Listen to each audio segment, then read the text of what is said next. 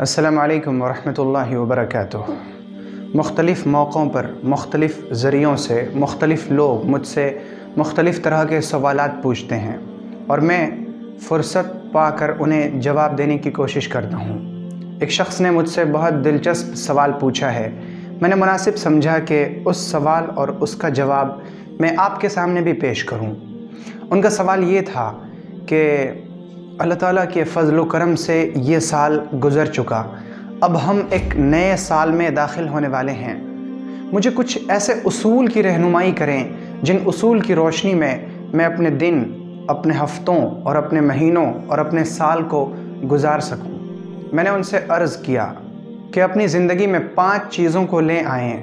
یہ پانچ چیزیں ایسی ہیں کہ اگر آپ ان چیزوں کو اپنی زندگی میں لے آئیں گے تو آپ کے دن، آپ کے ہفتے، آپ کے مہینے اور آپ کا پورا سال آباد رہے گا، برباد اور ضائع نہیں جائے گا۔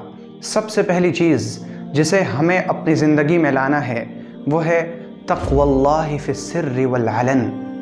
کہ جلوت میں ہوں یعنی لوگوں کے ساتھ ہوں یا خلوت میں ہوں یعنی تنہائی میں ہوں، دونوں حالتوں میں ہمارے دل کے اندر اللہ رب العزت کا ڈر ہو۔ یہ احساس ہو کہ اللہ تعالیٰ ہمیں دیکھ رہا ہے۔ اللہ کی میں نظروں میں ہوں۔ ہر وقت میرے ساتھ میرا رب موجود ہے۔ علم یعلم بان اللہ یرا۔ کیا یقین نہیں کہ اللہ دیکھ رہا ہے؟ جب ہم اس آیت کو پڑھیں گے تو پہلے پہل تھوڑے خوف کی کیفیت پیدا ہوگی۔ ڈر لگے گا دل دہلنے لگے گا کہ اللہ مجھے دیکھ رہا ہے۔ علم یعلم بان اللہ یرا۔ کیا یقین نہیں کہ اللہ دیکھ رہا ہے؟ اور جب ہم اس آیت کو بار بار پڑھیں گے، جب یہ آیت ہماری زندگی میں اتر جائے گی، تب ڈر کی کیفیت ختم ہو جائے گی اور سکون کی کیفیت پیدا ہو جائے گی۔ پھر ہر وقت ایسا لگے گا کہ مجھے اللہ دیکھ رہا ہے۔ میں اپنے رب کی نگاہ میں ہوں۔ میرا رب میرے ساتھ ہے۔ اور پھر استحضار ہوگا، وَهُوَ مَعَكُمْ أَيْنَمَا كُنْتُمْ تم جہاں کہیں بھی رہو۔ اکیلے میں ہو، دو کے ساتھ رہو، تین کے ساتھ رہو، ہر وقت تمہارے ساتھ تمہارا رب موجود ہے۔ اور یہ جو احساس ہے کہ میرا رب میرے ساتھ ہر وقت موجود ہے، یہ احساس اس قدر خوبصورت احساس ہے۔ یہ احساس اتنی بڑی نعمت ہے کہ میں آپ کے سامنے اس کی حقیقت شاید اچھی طرح بیان نہ کر سکوں، کیونکہ یہ وہ نعمت ہے جسے بیان کرنے سے زیادہ محسوس کرنے کی ضرورت ہوتی ہے۔ آپ یقین کریں کہ آپ اس خوشی کا اندازہ لگا ہی نہیں سکتے کہ جب بندے کو یہ احساس ہو جائے کہ ہر وقت میرا رب میرے ساتھ موجود ہے تو اسے کتنی خوشی ہوتی ہے۔ اسے ایسا لگتا ہے کہ میں اپنے رب کے بہت قریب ہوں، میرا رب مجھ سے بہت قریب ہے۔ اور وہ جو اللہ نے فرمایا، وَنَحْنُ أَقْرَبُ إِلَيْهِ مِنْ حَبْلِ الْوَرِيدِ، کہ ہم انسان کی شہ رگ سے بھی زیادہ اس کے قریب ہیں۔ پھر اس کا استحضار ہو جاتا ہے۔ تو یہ ہے وہ پہلی چیز، اللہ رب العزت کا ڈر، اللہ کا تقوی، اللہ کا خوف، اللہ رب العزت کی خشیت، یہ ہماری زندگی میں آ جائے۔ اور دوسری چیز، جسے ہمیں اپنی زندگی میں لا کر اپنے دنوں کو، ہفتوں کو، مہینوں کو اور اپنے سال کو روشن بنانا ہے، وہ ہے اتباع السنت فی الاقوال والافعال بات کرنے میں اور کام کرنے میں نبی اکرم صلی اللہ علیہ وسلم کی سنتوں کی پیروی آپ علیہ السلاۃ والسلام کی اتباع۔ آپ جانتے ہیں میرے بھائی اور میری بہن کہ اللہ کے رسول صلی اللہ علیہ وسلم کی زندگی میں ہمارے لیے نمونہ ہے۔ آپ کی ذات میں ہمارے لیے نمونہ موجود ہے کہ جیسے ہمارے نبی نے جو کام کیے ہیں، جس طرح کی گفتگو، جس طرح کی باتیں آپ نے کی ہیں، ہماری زندگی میں وہی باتیں۔ باتوں کا وہی انداز، کام اور کاموں کا وہی طریقہ آ جائے۔ اور یہی انسان کی حقیقی کامیابی ہے، یہی اصل زندگی ہے۔ ہمارے نبی صلی اللہ علیہ وسلم دوسروں کے ساتھ کس طرح بات کیا کرتے تھے؟ آپ دوسروں سے کیسے ملا کرتے تھے؟ آپ کا انداز کیا تھا؟ آپ کا طریقہ کیا تھا؟ آپ کس طرح سویا کرتے تھے؟ کیسے جاگا کرتے؟ جاگنے کے بعد سب سے پہلے کون سے کام کیا کرتے؟ آپ کی نماز کیسی تھی، آپ کا روزہ کیسا تھا، آپ کا جہاد کیسا تھا، رات کی عبادت آپ کی کیسی تھی، آپ کا دن کیسے گزرتا تھا، بیویوں کے ساتھ آپ کا کیا سلوک تھا، بچوں کے ساتھ آپ کا رویہ کیا تھا، لوگوں کے ساتھ آپ کا تعامل کیا تھا، عوام الناس کے ساتھ آپ کا برتاؤ کیا تھا، یہ ساری چیزیں ہماری زندگی میں آ جائیں۔ تو یہ ہے دوسری چیز۔ اور تیسری چیز ہے الاعراض عن الناس فی الاقبال والادبار۔ لوگوں سے اپنی امیدوں کو ختم کر دینا۔ کسی سے یہ امید جب ہم رکھتے ہیں نا کہ یہ شخص میرے ساتھ یہ کر دے گا، وہ کر دے گا، میں نے اس کے ساتھ ایسا کیا ہے تو یہ میرے ساتھ ایسا کرے گا۔ جب انسان کسی سے امیدیں باندھتا ہے، توقعات باندھتا ہے، تو پھر اسے بہت تکلیف ہوتی ہے۔ سکون کا راز یہ ہے کہ ہم انسان سے اپنی امیدیں لگانا بند کر دیں۔ ہماری ساری امیدیں، سارے توقعات صرف رب العالمین سے وابستہ ہوں۔ صرف اور صرف اللہ کی ذات سے امیدیں ہوں۔ اللہ میرا یہ کام کر دے گا۔ اللہ میرے اس کام کو نکال دے گا۔ اللہ مجھے اس سے نجات عطا فرمائے گا۔ اللہ مجھے روشنی دے گا۔ اللہ مجھے ہدایت دے گا۔ اللہ مجھے سیدھے راستے پہ جمائے گا۔ ساری امیدیں، سارے توقعات، ساری آرزویں صرف اللہ سے ہوں۔ جب انسان دوسرے انسان سے امیدیں لگانا بند کر دیتا ہے تو اس کی زندگی میں خوشی کے ایسے دروازے کھلتے ہیں کہ انسان اس کا تصور کر ہی نہیں سکتا۔ تو یہ ہے تیسری چیز جسے ہمیں اپنی زندگی میں لانا ہے کہ ہماری امیدیں آرزویں توقعات، یہ سب انسانوں سے کٹ جائیں، ساری امیدیں اللہ سے وابستہ ہو جائیں۔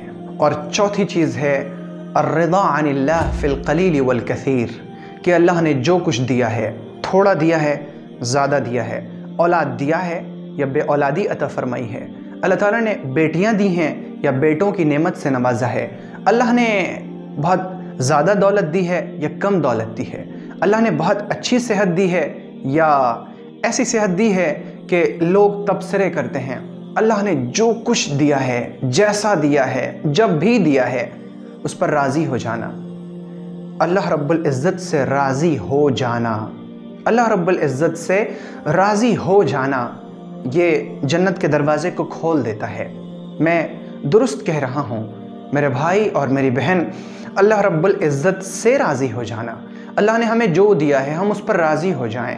جب ہم اللہ سے راضی ہو جاتے ہیں، تو پھر اللہ ہم سے راضی ہو جاتا ہے۔ اور جو بندہ اللہ سے ناراض رہتا ہے، اللہ کے شکوے کرتا ہے، اللہ کی شکایتیں کرتا ہے، وہ اللہ کے فیصلوں پر راضی نہیں ہوتا، اللہ رب العزت اس سے ناراض رہتا ہے۔ بھلا یہ کیسے ممکن ہے؟ کہ کوئی شخص اپنے رب سے ناراض رہے اور اس کا رب اس سے راضی ہو جائے۔ اللہ رب العزت کو راضی کرنے کا سب سے بڑا دروازہ یہ ہے کہ پہلے ہم اللہ سے راضی ہو جائیں، اللہ کے فیصلوں سے راضی ہو جائیں۔ اللہ نے ہمیں جو حالت دی ہے، اللہ تعالیٰ نے ہمیں جس حال میں رکھا ہے، ہم راضی ہو جائیں کہ میرے لیے یہی بہتر ہے۔ اور آپ یقین کیجیے، آپ یقین کیجیے کہ آپ کی خواہشوں اور آرزوؤں اور تمناؤں سے بہتر آپ کے حق میں اللہ کا فیصلہ ہے۔ جی ہاں اللہ کا فیصلہ جو آپ کے حق میں اللہ نے کیا ہے، وہ یقیناً آپ کی آرزوؤں سے، آپ کی تمناؤں سے، آپ کی امیدوں سے کہیں بہتر ہے۔ جب اس چیز کا یقین ہو جائے گا اور یہ چیز دل کے اندر پیوست ہو جائے گی، تو پھر ہر بات پر یہی آواز نکلے گی، زبان یہی کہے گی، اللہ کی مرضی یہی ہے، یہ اللہ کی رضا اسی میں ہے۔ اللہ اسی میں خوش ہے۔ اور جب یہ چیز زندگی میں آ جائے گی، تو زندگی بڑی معطر، بڑی خوشبودار، بڑی نفیس، بڑی عمدہ اور بڑی خوبصورت گزرے گی۔ تو یہ ہے چوتھی چیز جسے ہمیں اپنی زندگی میں لانے کی کوشش کرنی ہے۔ اور پانچویں چیز ہے، الرجوع اللہ فی السراء والضراء، کہ خوشی کی حالت ہو یا غم کی حالت ہو، نعمت کی حالت ہو یا مصیبت کی حالت ہو، بیماری کی حالت ہو یا تندرستی کی حالت ہو، ہر حال میں اللہ کی طرف رجوع کرنا، اللہ سے لو لگائے رکھنا۔ بیمار ہیں، اللہ کے دربار میں ہاتھ اٹھا کر صحت کی دعا مانگیں گے۔ صحت مند ہیں، اللہ کا شکر ادا کریں گے۔ دولت ہے، اللہ کا شکر ادا کریں گے۔ تنگ دستی ہے، اللہ سے ہم مانگیں گے کہ اللہ تعالیٰ ہماری تنگ دستی کو دور فرما دے۔ ہر حال میں اللہ کی طرف رجوع کرنا، اللہ سے لو لگائے رکھنا۔ پیغمبر صلی اللہ علیہ وسلم نے فرمایا، عجبا لامر المؤمن۔ مومن کا معاملہ کتنا عجیب ہے کہ اگر اسے نعمت ملتی ہے تو یہ شکر کرتا ہے، تو اسے شکر کا ثواب ملتا ہے۔ اور جب اسے بیماری ملتی ہے، اسے تکلیف پہنچتی ہے، تو پھر یہ صبر کرتا ہے اور اسے صبر کرنے کا ثواب ملتا ہے۔ یعنی اچھی حالت میں ہو تو بھی یہ ثواب کماتا ہے۔ اور اگر وہ دنیاوی اعتبار سے تکلیف کی حالت میں ہو تو بھی یہ ثواب کماتا ہے۔ ہر حالت میں اسے ثواب ملتا رہتا ہے۔ تو ہم ان پانچ چیزوں کو اپنی زندگی میں لائیں۔ اللہ رب العزت کا ڈر جلوت میں اور خلوت میں۔ نبی صلی اللہ علیہ وسلم کی پیروی باتوں میں اور کاموں میں۔ اور مخلوق سے ہم اپنے توقعات کو اور اپنی امیدوں کو ختم کر دیں۔ اور اللہ نے جو کچھ دیا ہے، کم یا زیادہ، اس پر راضی ہو جائیں۔ اور نعمت کی حالت ہو یا تکلیف کی حالت ہو، دونوں حالتوں میں اللہ کی طرف رجوع۔ جب یہ پانچ چیزیں ہماری زندگی میں آ جائیں گی، ہمارے دن روشن گزریں گے، ہماری راتیں پرسکون گزریں گی۔ یہ ہے پرسکون زندگی کا راز۔ یہ ہے دن گزارنے کے طریقے۔ یہ ہے ہفتے بتانے کے راستے۔ اور یہی ہے وہ چیز جس سے ہمارا سال اچھا گزرے گا، انشاءاللہ۔